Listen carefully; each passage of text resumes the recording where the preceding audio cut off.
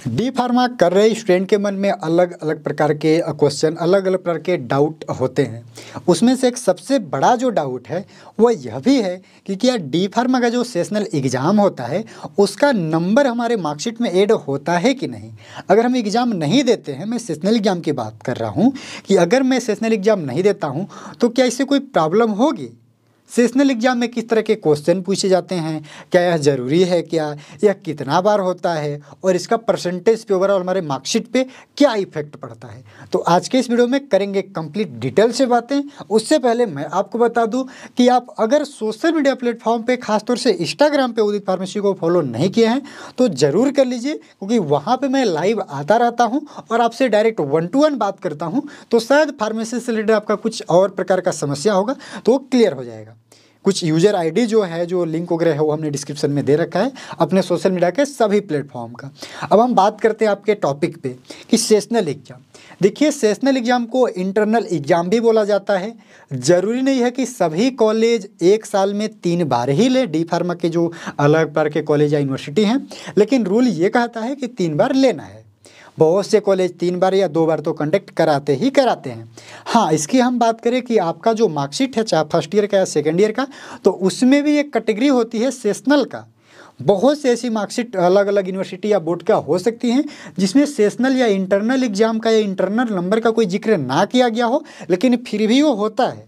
आप ऐसे समझ लीजिए कि जो आपका फाइनल एग्ज़ाम होता है, जो बोर्ड या यूनिवर्सिटी का फाइनल एग्ज़ाम वो टोटल अस्सी नंबर का होता है। लेकिन जब आपका पूर्णांक तो सौ है सौ में से आपका चालीस नंबर पासिंग है। तो अस्सी कैसे? तो भाई, बीस नंबर सेशनल वालों की ही यहाँ पे बात किया गया है।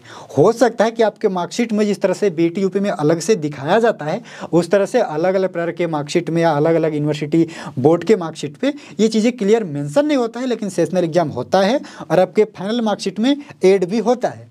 अब हम बात करते हैं रियलिटी की। क्या देना ज़रूरी है कि नहीं? ज़रूरी है। यह एक प्रकार का प्रैक्टिस है। प्री एग्ज़ाम की तरह आप समझो। इससे आपको एक अच्छा खासा अनुभव मिलता है कि आप उस सब्जेक्ट में कितना नंबर ले ला सकते हो। आप कैसे हो पढ़ने में? इसी के साथ साथ जो आप लिखते हो, उसमें जो अपना कॉपी होती है, उसी के बेस पे जो आपके मार्क्स भेजे जाते हैं बोर्ड या यूनिवर्सिटी में तो उसी के बेस पे आपको नंबर वहाँ पे दिया जाता है। हो सकता है यह नंबर आपको अगर आप एग्ज़ाम नहीं भी दिए हो, तब पर भी आपके कॉलेज वाले भेज सकते हैं, लेकिन ज़रूरी होता है। कभी काल बहुत से कॉलेज वगैरह में कभी कभी चेकिंग वगैरह के दौर में पकड़ा जाता है कि सेशनल एग्ज़ाम नहीं कंडक्ट करा है तो दोबारा से सेशनल एग्ज़ाम देना पड़ जाता है बच्चों को। तो समझ में धीरे धीरे आ रहा होगा कि भाई ज़रूरी तो है, क्योंकि यह एक प्रकार का प्रैक्टिस है। बहुत से बच्चे इससे जो सेशनल एग्ज़ाम देते हैं, उनमें उनको समझ में आता है कि अच्छा वाकई में इस तरह से क्वेश्चन पूछे जाएँगे। और जब उनका मार्क्स भी उनको पता चलता है कि हमने इतना नंबर लाया है इस सब्जेक्ट के सेशनल एग्ज़ाम में तो शायद आप अपनी स्टडी पे भी फोकस कर सकते हो कि सेशनल एग्ज़ाम में मेरा आठ या दस भी नंबर नहीं आया तो शायद मेरे लिए प्रॉब्लम दे सकता है। लेकिन एक चीज़ मैं आपको बता दूँ कि सेशनल एग्ज़ाम में बहुत से अगर सही से कॉपी चेक करेंगे तो मुझे पूरा तरह से यकीन है कि जितने भी वीडियो वगैरह हमारे देखते हो, हमें लगता है कि 80 परसेंट स्टूडेंट वही टाइप के हैं जो अच्छे से स्टडी नहीं करते हो। तो अगर आपका आठ दस नंबर आ रहा है तो बहुत ज़्यादा टेंशन लेने की बात नहीं है। आपके जो मार्कशीट में नंबर भेजे जाएँगे, जो कॉलेज के तरफ़ से इंटरनल एग्ज़ाम का जो नंबर भेजा जाएगा, वो ठीक ठाक भेजा जाएगा। आपके और भी चीज़ों पे डिपेंड करता है कि आप क्लास किस तरह से जा रहे हो रेगुलर स्टूडेंट हो कि नहीं हो टीचर से किस तरह के संबंध है आपके, लेकिन ये कुछ हद तक मैटर करता है। सेशनल एग्ज़ाम ज़रूरी है, आपको देना चाहिए। छोड़ भी देते हो तो बहुत से कॉलेज मैनेज कर लेते हैं, लेकिन इसके चक्कर में आप ना पड़े। इसका फाइनल मार्कशीट में मार्क्स जो नंबर है, वो एड होता है और परसेंटेज भी आपका इससे बनता है। तो ये था कंप्लीट जानकारी। सेशनल एग्ज़ाम पे उम्मीद है कि आपको समझ में आया होगा। इसी प्रकार का जिस तरह से हमने बात किया थ्योरी और प्रैक्टिकल दोनों का होता है। कहने का मतलब ये है कि साल में तीन बार आपके थ्योरी का भी एग्ज़ाम होगा बीस बीस नंबर का और साल में तीन बार प्रैक्टिकल का भी एग्ज़ाम होगा बीस बीस नंबर का। और बीस बीस नंबर का तीन बार होने के बावजूद भी आपका जो नंबर भेजा जाएगा, वो थ्योरी का और प्रैक्टिकल का बीस बीस नंबर ही भेजा जाता है। तो ये समझ में लगभग आपको आ गया होगा और इसी प्रकार से आपका नंबर भी एड होता है। और इससे रिलेटेड और भी कोई अगर आपको कन्फ्यूज़न है, कोई डाउट है तो कुछ वीडियोज़ हैं डी फार्मासेशनल एग्ज़ाम से रिलेटेड जिसको कंप्लीट मैं इधर डिस्क्रिप्शन में दे दिया हूँ। लिंक है, वीडियोज़ को क्लिक करके आप देख सकते हैं। प्लेलिस्ट का लिंक जो है उधर कमेंट बॉक्स में दे दिया जाएगा। प्लेलिस्ट एक कंप्लीट बना दी गई है डी फार्मा सेशनल एग्ज़ाम पे। तो उसे आप देखना ना भूलिएगा। वो आपके लिए बहुत ज़्यादा बेनिफिट देने वाला है, क्योंकि वहाँ पे कंप्लीट बात किया गया कि किस तरह से एग्ज़ाम हो सकता है, किस तरह से क्वेश्चन पूछे जा सकते हैं। इसी प्रकार से और भी आपको मैं जानकारी दे दूँ, उदित फार्मेसी क्लासेस अप्लीकेशन के बारे में। अगर आप डी फार्मा फ़र्स्ट ईयर या डी फार्मा सेकेंड ईयर के स्टूडेंट हैं और आप चाहते हैं कि आप घर से ही ऑनलाइन एक कोचिंग की तरह अपनी स्टडी करें तो उदित फार्मेसी अप्लीकेशन को अपने फ़ोन में इंस्टॉल कर लीजिए। प्ले स्टोर पर मिल जाएगा ऐसा कुछ एप्लीकेशन आपको दिख रहा होगा। प्ले स्टोर पर उदित फार्मेसी आप सर्च कीजिएगा तो इस एप्लीकेशन को डाउनलोड कर लीजिए। यहाँ पे अपना नाम ईमेल आईडी और कॉन्टैक्ट नंबर डाल करके लॉगिन कर लीजिएगा।